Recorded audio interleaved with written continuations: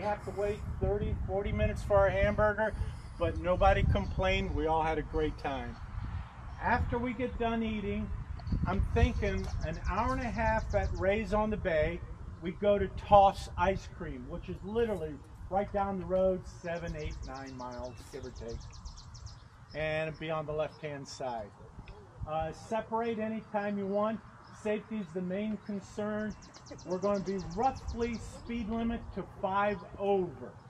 Once we get on Route 2, speed limit only so we could all stay together.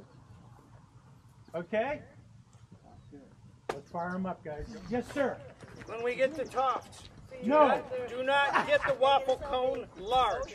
Okay. The ice cream, the ice cream was stacked this high above the cone. That's not an example. Hey, Bill, Bill.